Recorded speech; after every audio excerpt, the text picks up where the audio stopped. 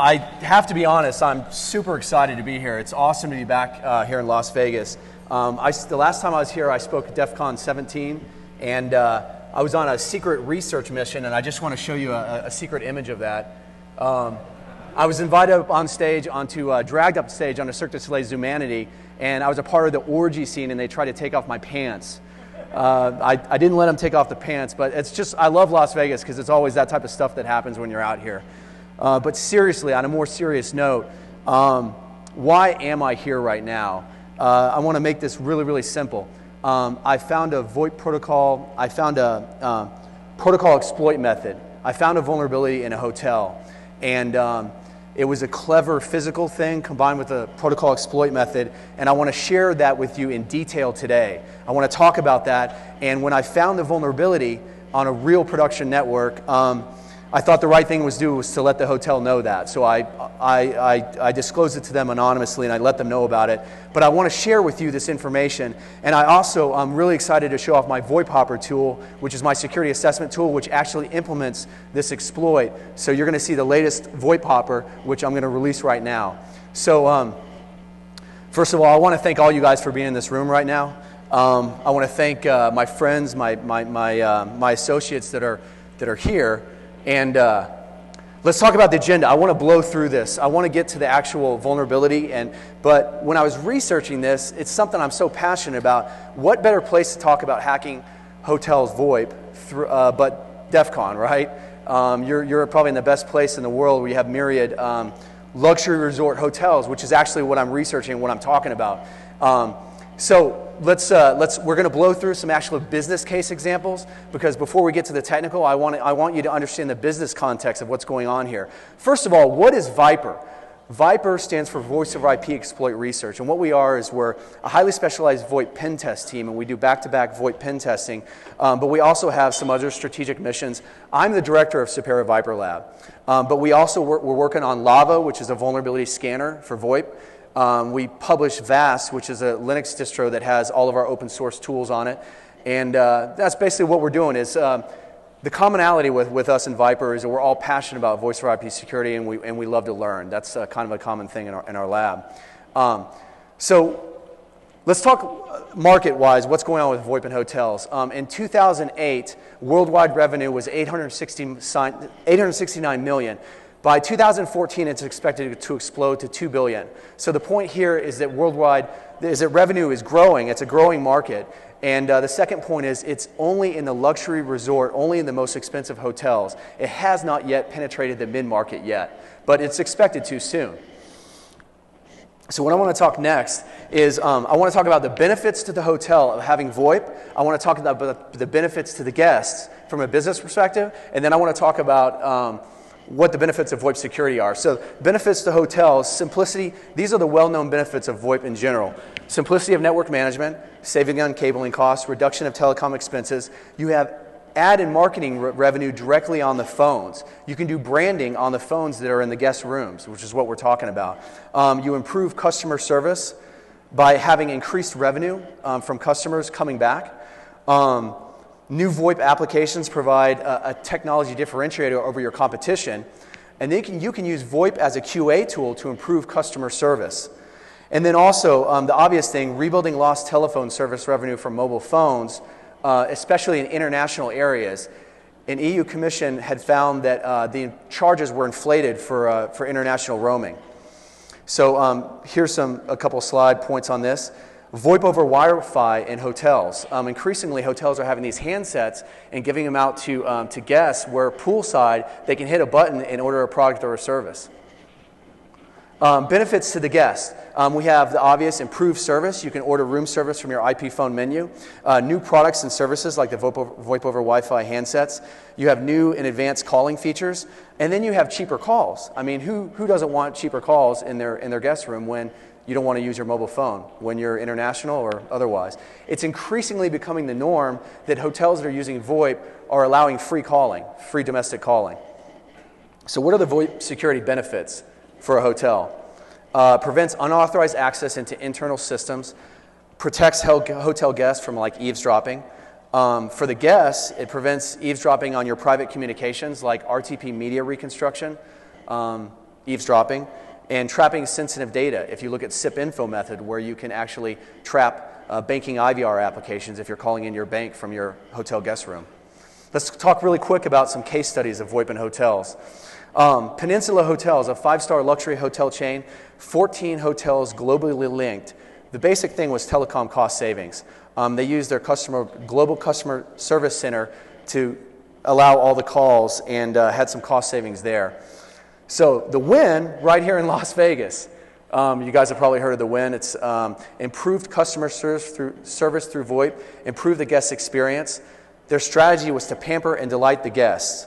Each guest room has an IP phone. Beautiful little phone here. I found this. Uh, here's a great, great quote. As Wynn Resorts is showing, the entire organization can become a contact center. The phone is no longer just a communication channel, it's a form of customer service in its own right.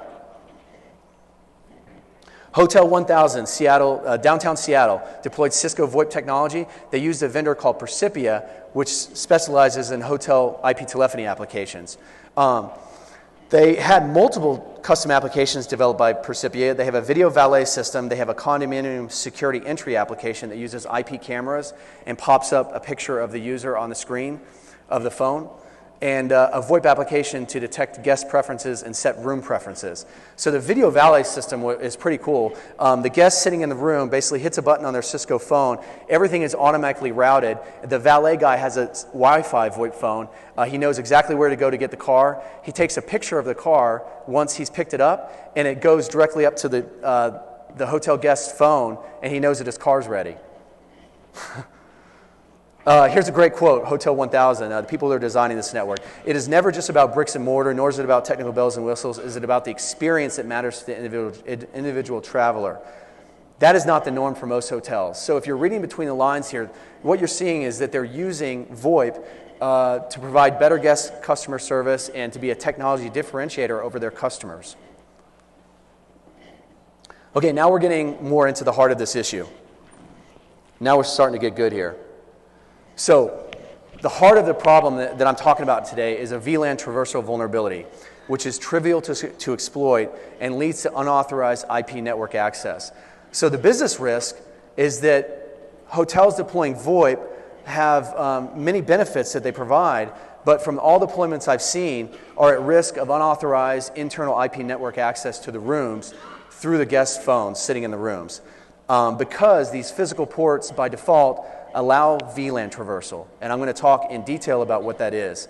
So let's go back to 1999. This is actually the vulnerability. And part of my research is, is I always give credit to people, and, I'm, and I'm, I'm think that we're kind of just advancing, trying to advance forward here, but um, there's a lot of people that have already done a lot of good work here. Uh, in 1999, IEEE 802.12 unauthorized VLAN traversal weakness. Um, you see here, by spoofing various Ethernet frame fields, um, you can gain unauth- you can traverse from one VLAN to another.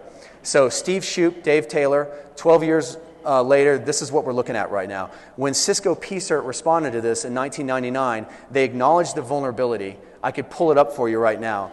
And they recommended best practices of disabling trunk ports that shouldn't be in use. Now remember this key line disable trunk ports that should not be in use, because I'm going to come back to that in a second. Here's some other researchers. Um, at stake, uh, Mike Schiffman, Black Hat USA, uh, Sean Convery, Cisco White Paper. So it's basically 1990 to 2002. Some great SANS resources. So VoIP hopping, you've seen the title of this talk. What are we talking about here? Um, I coined this term in 2007. Um, I call it unauthorized VLAN access within a VoIP infra- infrastructure that was not intended by the system design. And this business risk increases in areas with the in- inherent right to privacy, like hotel guest rooms, and poor physical security, like public access. Um, here's a little article that's on semantic.com right now VoIP hopping, a method, method of testing VoIP security. You can read a little bit more information about it. So, back to what we said. Um, all best practices recommend disabling trunk ports for user, um, in user access networks. But the irony is, with VoIP to work, some form of a trunk port must be used. That's a trunk port in the traditional sense, which is what I'm going to talk about with this hotel case study. And then there's also the multi access VLANs with auxiliary ports, which is the Cisco voice VLAN.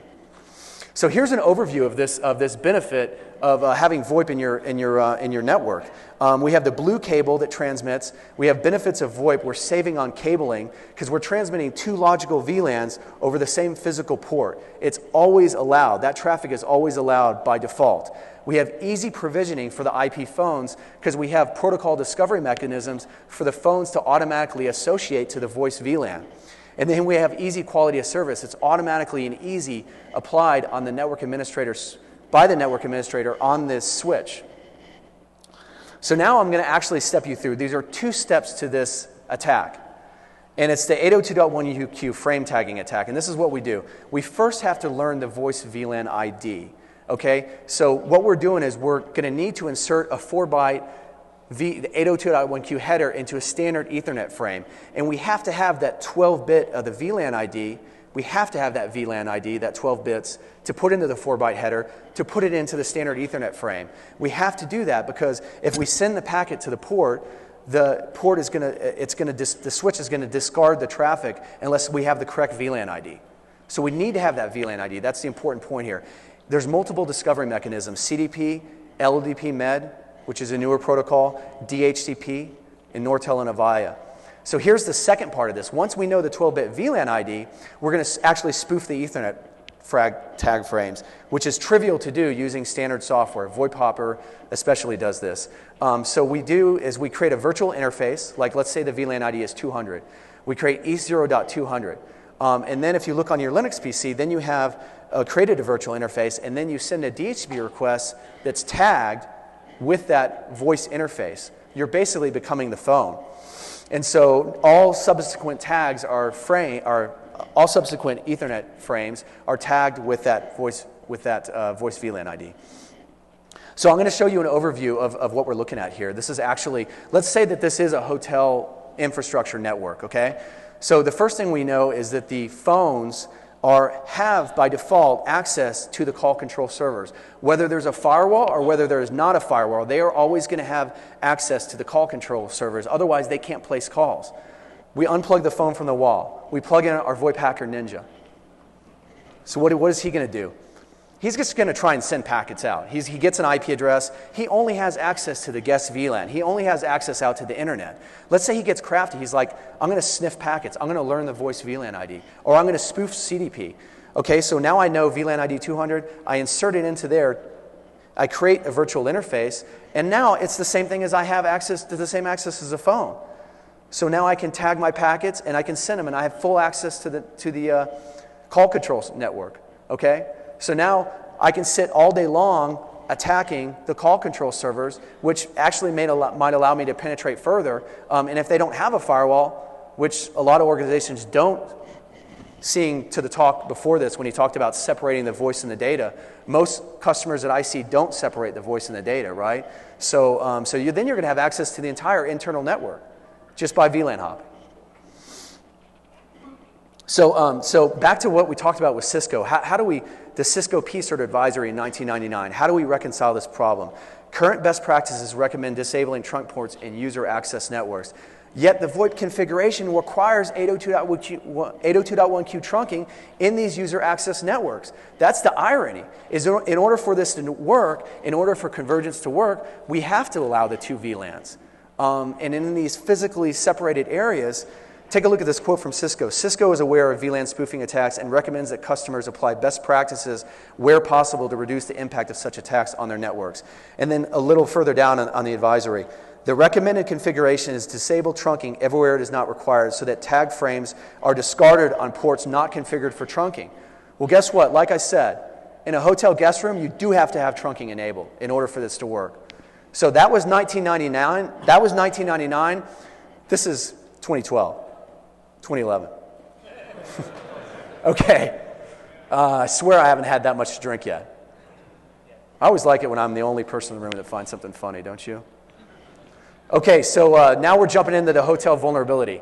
Um, I was talking with a friend and telling her about this story, and it's funny. She was like saying, this is like a scene out of Ocean's Eleven or something. I mean, could this not be like a future movie that, uh, that they make where instead of uh, you know, doing all this fancy physical security, they just check into the guest room? They just check into the guest room and have multiple colluders, and they're able to get access into the internal network and pilfer out the, uh, the electronic cache or whatever. It's a, it's a funny idea. Uh, but I mean, it's, it's, you literally have like a doomsday type of scenario. So, my story of the hotel. Um, I was, like I said before, I was sitting in a luxury hotel very recently that had IP phones configured in the guest rooms. Um, so I want to go into detail about the security controls that were, placed, that were in place and a detailed description of the methods and how they were defeated. So, um, so the first security control that we found is we tried to unplug we tried to unplug the phone from the wall and have our laptop plugged in and we tried to do the normal stuff that you would do in order to gain access to network and we had no access to the network so it, we kind of became clear that the hotel administrators security operations or whomever um, kind of knew what they were doing is that they were trying to apply security to prevent us to gain unauthorized access. You couldn't just unplug and plug in as, as if you were a curious user. So the first thing that we saw is they did MAC address hiding. So what they did is, is they, on the back of the VoIP phone, they unplugged, they, uh, they um, peeled off the MAC address because it's kind of a common knowledge um, in, this, in this type of scenario that we're talking about is that you can spoof the MAC address of a phone on your using standard software on your laptop and gain access to the network because they're doing port security or MAC address filtering. So the fact that they had peeled it off inferred that they knew about port security or MAC address filtering, and by hiding the MAC address, they were trying to prevent us from spoofing the MAC address.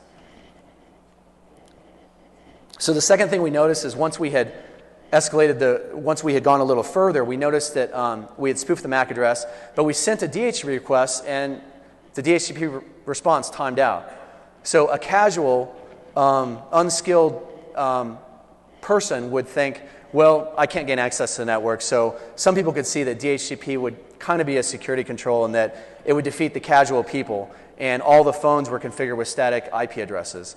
Um, so that's one of the things that we observe. So the next question becomes um, if you were going to gain access to network and you're sitting in the guest room, how do you know the right IP address to use across the network where there's no IP address conflict? So, um, so this is, this is kind of one of the major things uh, about VoIPhopper that I'm going to show you guys. Is um, when we just plugged in and had a sniffer running, we noticed that the trunk ports were leaking the VLAN ID. And what I mean by this is we were receiving 802.1q tagged frames, Ethernet, uh, ARP, ARP packets that were tagged. So all we had to do was open up a sniffer and see, we saw the, the VLAN ID that the, phone, the phones were using by just using a sniffer. So this was news to me because I thought maybe this is some kind of misconfiguration. Maybe they, they shouldn't do, they had trunk ports configured. And as you know, trunk ports, uh, the broadcast domain, uh, any broadcast type of traffic is going to forward out all the ports. So why were we receiving?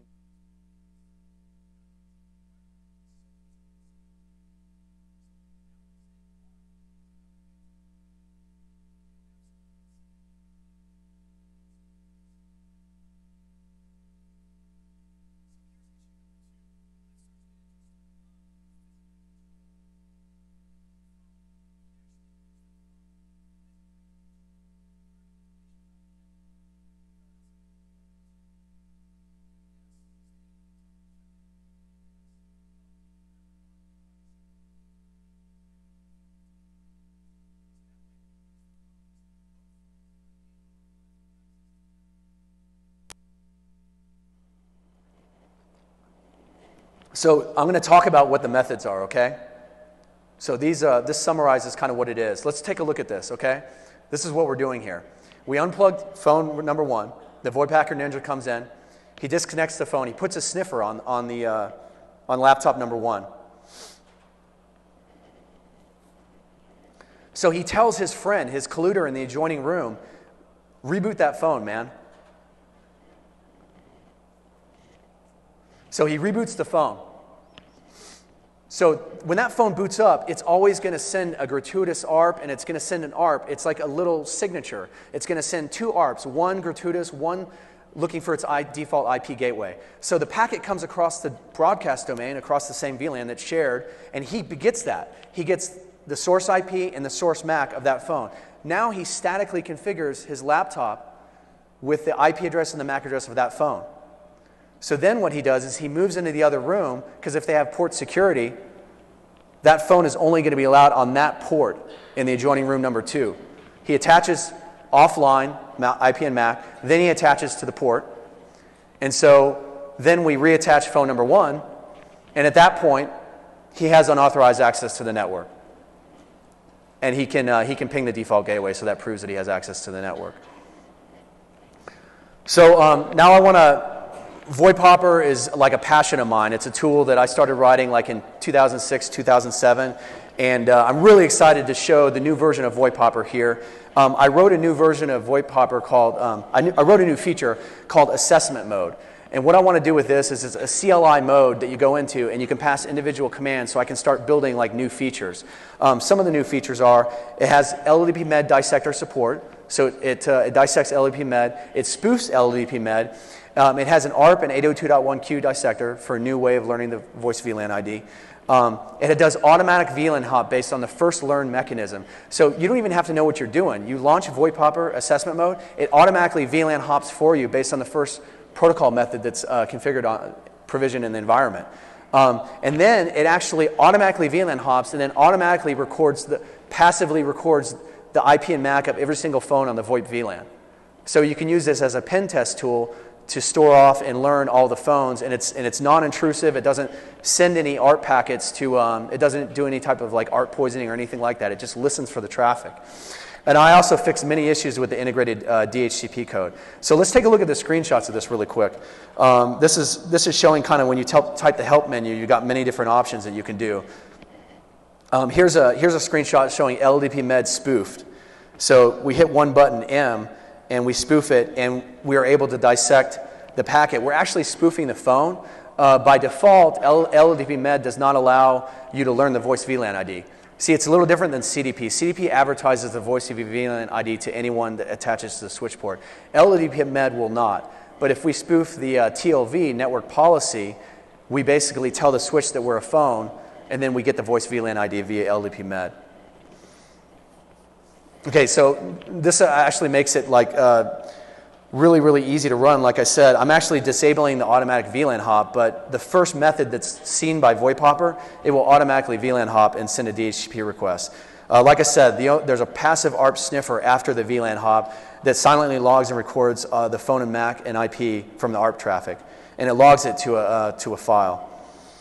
Okay, another thing, um, if DHCP is disabled, one of the things we saw like in this, on this hotel case study when DHCP was disabled, you know, it would time out. Well, well now we time out, and then VoIP Hopper automatically sets a, a fake static IP, static IP, and then automatically starts sniffing for the phones on, on, the, uh, on the VoIP VLAN.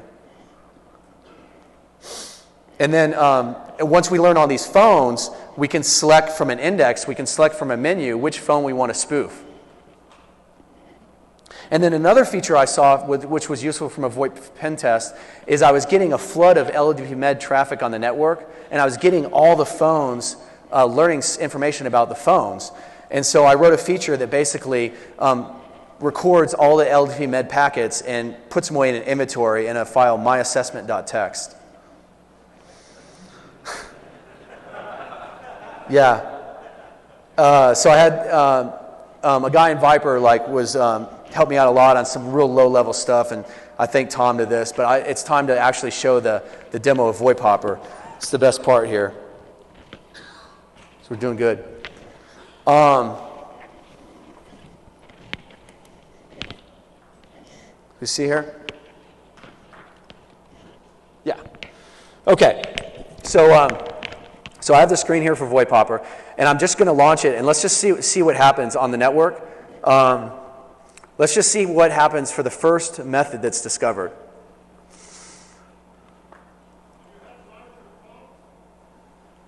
What's that? Can you hear? Large the what? Oh, the font.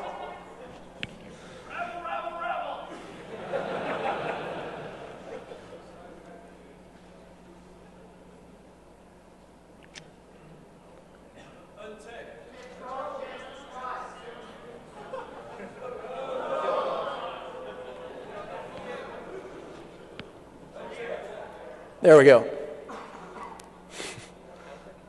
Okay, is that a little better? All right.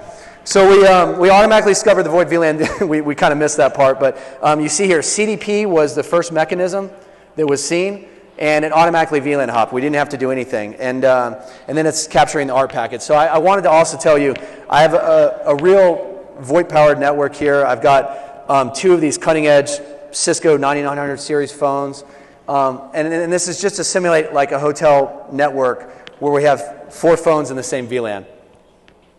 So I'm going to actually have VoIP VoIPOpper now delete that interface. And uh, we're going to launch it again. And so, you know, I can right here, I can spoof a CDP packet and automatically VLAN hop there. Now let's spoof uh, LDP med packet. Okay, so, um, so I automatically gain access to the network there. And then um, let's show, this is just the basic features that I talked about. Let's, discon- let's disconnect and connect to, um, I have a monitor span session set up because when I did this internal VoIP pen test,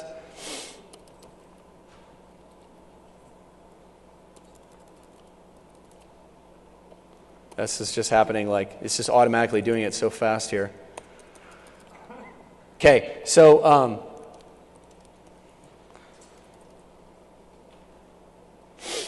So what I'm doing here is I'm, I'm just listening for um, the LDTB Med endpoints to send me traffic.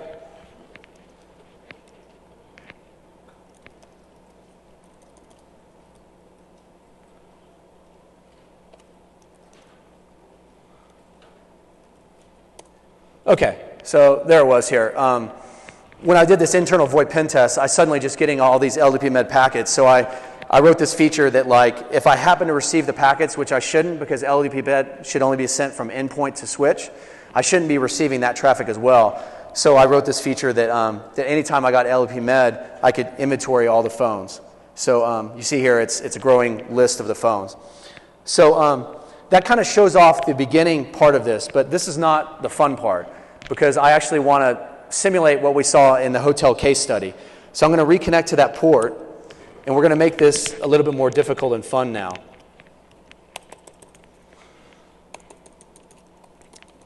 Okay, so we're going to get into the switch.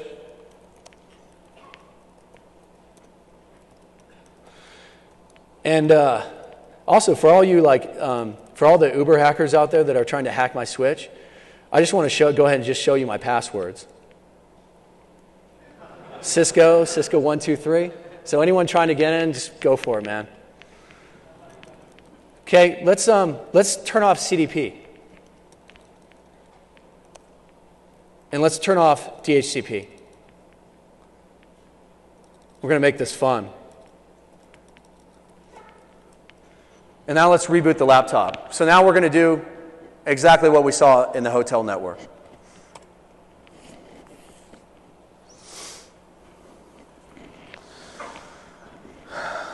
And um,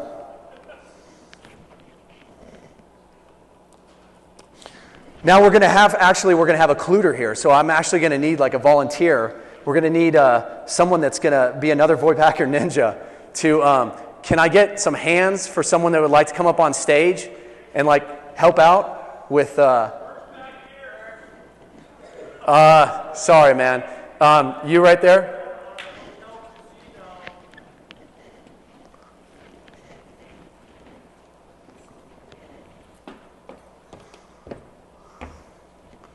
So, uh, can we get some audio? I, uh, I don't hear the audio. We, we need this, the special effects here. What's your name, man? Ryan. Ryan. Let's do this, man. Are you, are you ready to do this? Yeah, I think so. You're, you ready? Yeah. Okay. This is going to be your phone over here, Ryan. Right? So we're in the room together.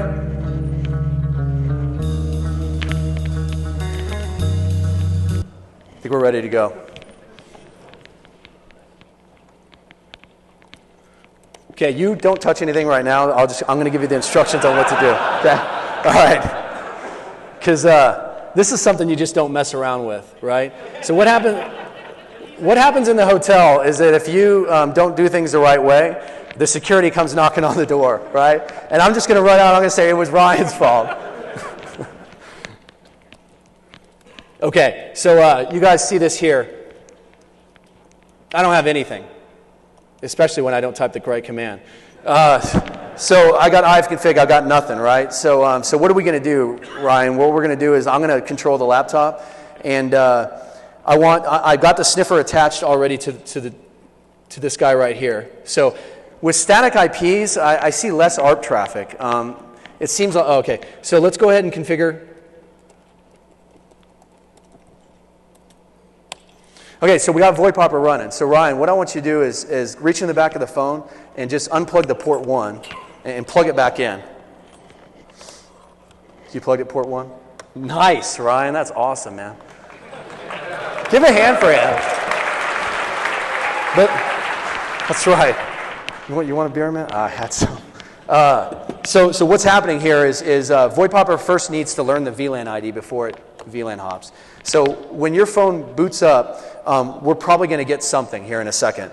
So let's just wait around. So we're just sitting in our hotel room drinking a beer. Having a beer. So, like I said, that broadcast, gr- gratuitous ARP, and then the broadcast looking for its default gateway, VoIP Hopper picks that up. See? We got 802.1q VLAN header. We learned the VLAN ID. Now what's happening is, let's watch this. It's going to time out on the DHCP because that also has to happen before the ARP sniffer starts listening for the, the new phones. So, minimum timeout 20 second.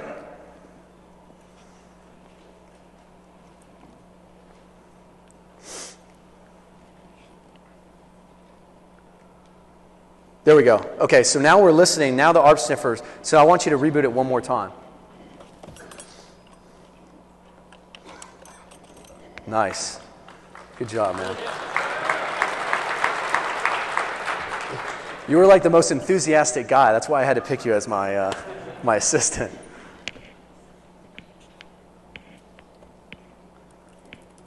Okay, so it's going to take a second here. Um, what's happening is, like I said, the ARP sniffer is detecting all the phones on the network. So when we reboot, we use the phone as a reboot tool in order to learn um, all, all, the IP phone, the, the MAC address, the MAC and IP of the phones.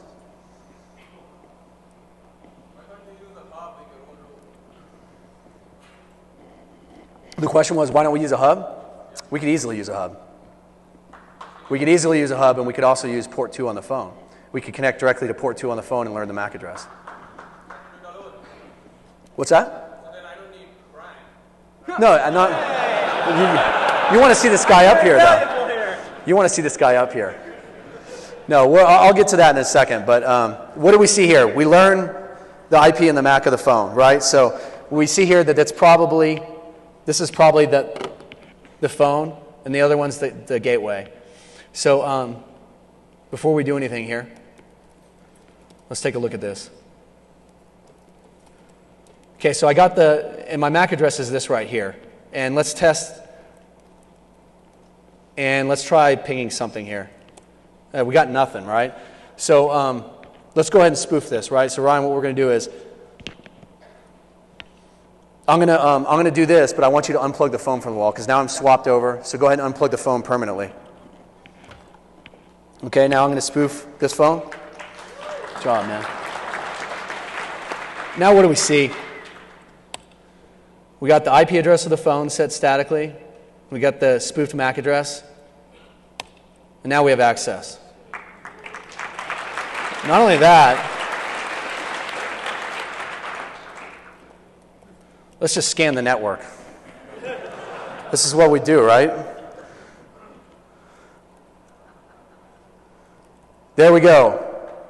Four devices on the network. Give a hand to this guy. Unauthorized access to the network.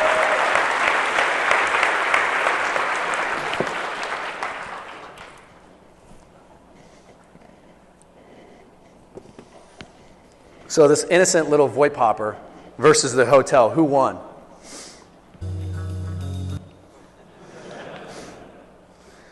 So, in summary, I just want to summarize this. Um, what happens when you control physically control two or more ports on the phone? Are people really thinking about this? We have a potential coordinated attack from trusted ports by issue of just checking into the hotel guest room. Um, key assumptions are you have to be members of the same broadcast domain. That's why we get adjoining rooms. Um, the point is that for VoIP QoS and convergence to work, you usually need both VLANs allowed. Um, risk of VLAN hop has been known for, for years. That's not what this talk is about. I'm trying to advance forward the idea about this is the risk of VLAN hop in environments that require trunk ports in user access networks. The impact in the case study with the hotel that we're talking about, every time I talk about this, I have to be just re really careful. Um, the impact of this hotel is it enables UC specific attacks against the VoIP network, like eavesdropping, and it enables potential unauthorized access to internal core services and systems. It could represent business critical, uh, critical business impact. An attacker sitting in the privacy of his room could spend all the time he or she wants penetrating further. Um, what I'm seeing is that hotels have very low awareness about this issue. Um, it's not just some of them, it's all of the hotels I see have this issue. That's why I'm here. Um, talking about VoIP hoppers, the way it was born in 2007, um, I did an authorized VoIP pen test, and, uh, and then I wrote VoIP Hopper, and that was the result of this. And um, you know, the, the, cu the customer said you can't get access from the voice network to the data. And we got in, and we got into the servers, and we showed that. Um, so physical security is compromised here, and it's a unique situation for the hotel rooms. Security controls need to compensate for this. That's why you look at things like 802.1x. Everyone says when you have physical access to something, it's game over, right? But that's the irony there, like I said, is in the hotel guest rooms, you know, guests have physical access to the phones because it's a business benefit to, to use the phones. Otherwise, why even have the phones there? Okay, I started kind of doing some fun little research on this because I wanted to like say, who are these people putting in these networks? Um, who are these people recommending best practices? Um, so I, a couple of vendors turned up. This is with Hotel 1000 in Seattle. Valcros was the trusted Cisco partner that put in the network. So I wanted to ask Valcros, hey, um, what best practices did you recommend when you put in Hotel 1000 to um, uh, I was like a little investigative journalist, um, but I found that they no, no, longer had a server. They no longer had a web server, so um, I didn't get too far on that one. With Percipia, though, they're the recommend, they're, they're the trusted. Look here, Percipia Networks, the most widely used and trusted name in hotel, hotel IP phone applications. So I, I, sent them an email. I'm not sure if you can see this, but I, I said I was wondering if what is your um, what is your best practices um, do you have a security solution that can help prevent unauthorized access from hackers breaking into internal networks of hotel guest rooms? I got no response from Percipia. A little disappointed in that. Would have been kind of fun. Okay, so another little, uh, little thing that I did, a little fun thing, is um, I decided to do a little survey of hotels. It was kind of like a social engineering little survey, and, and just a survey to find out what was going on in the marketplace. So I had a research assistant call, um, basically find 100 of the most expensive, luxurious resort hotels in the world, um, and call them up and find out, A, do they have VoIP uh, in the hotel guest rooms, and B, what was their price? So, um, so as a result of this, there was 20% international. It was like Paris, London, Tokyo, Monte Carlo. And then it was, um, and then 80% domestic, mostly like Las Vegas casino hotels. Um, and the script went like this My boss has a strong preference for hotels with VoIP as he really likes the service and convenience of these phones. Does that sound kind of like suspicious to you? like your boss has like a fetish for IP phones? He's gonna like curl up really close with his pillow? That's just disturbing. so the result was kind of surprising to me. Only 8 out of 100 phones had confirmed to have um, VoIP in the guest rooms. And the average room price was 655 So, you know, I got this nice list. It's really cool, um, nice spreadsheet. It'd be interesting a few years from now to, to, to research this and find out where the market is on this because, you know, I started, this is a passion of mine. I started this in 2007 and now we are in 2011. It would have been interesting to do this back then. Oh, now, here's the typical response. I actually took the audio from one of the conversations. I'm going to play it to you. Um, can I make sure the audio works on this? I assume so. So listen here. Okay, I just have one more question. My boss has a preference for hotels that have a voice over IP. Um, he likes the convenience and special features of this type of phone. So, do you provide those in your guest rooms? It's VoIP, voice over IP phones. It's just like an internet phone. You, you can't hear anything. You can't hear the audio of the uh, other person. Well, anyway, she says, "Oh, not quite sure if our phones do that." Um, I don't know what's wrong with the with the clip right now, but um, I'm not hearing that. Okay, you can't hear, but she says um, she comes back on the phone and she says she checked with her. I, she's real sweet too. Uh, okay, that's great. So there will be. She checked with her IT director, and they do have IP phones. I mean, they're straight from the IT director. We have IP phones in the guest rooms. Just thought it was interesting to see how they interpret the question of voice over IP, the hotel reservation specialists. And like I said, most of them had no idea about uh, what voice over IP was. They always had to check with someone. That's the point of the exercise.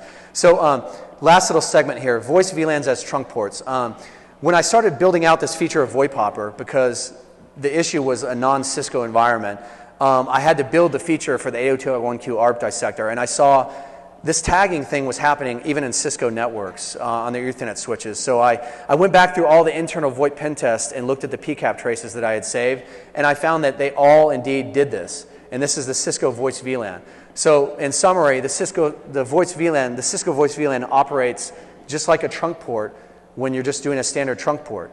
Uh, so I sent this notification to Cisco PCERT and because I want to work together and I want to help improve the security. And, and uh, we're still working together on it, but the, the subject is Cisco IOS advertises voice VLAN ID by sending tagged frames to switch access ports. So Cisco PCERT, um, they look like they have real good awareness of this and they're working on it.